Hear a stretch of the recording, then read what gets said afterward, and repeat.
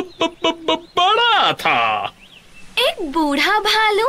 नहीं उससे तो वो बहुत छोटा था। ओ ओ ये तो पुज